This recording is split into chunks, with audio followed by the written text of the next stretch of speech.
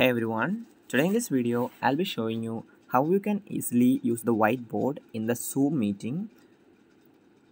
So in order to begin, I will open the Zoom meeting application in my mobile app mobile.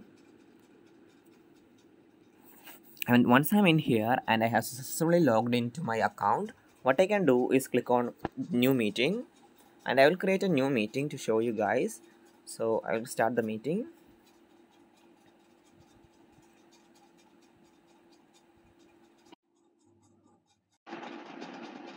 And now as you can see the meeting is started.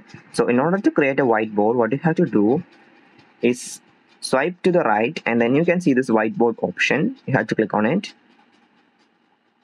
And now just wait for some seconds. And now you can see an option to create a new whiteboard.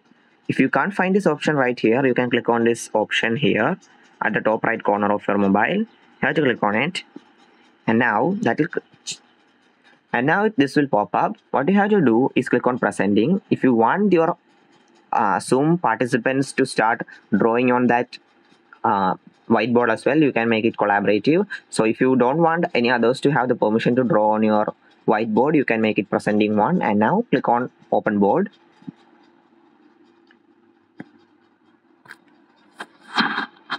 And it's now preparing my whiteboard. As you can see you can now easily type in whatever you want. So in order to type in whatever you want you have to click on this arrow icon. And now you have this line option. You have to click on this line. And then you can choose the color of your line. And then you can easily draw here as you can see like that.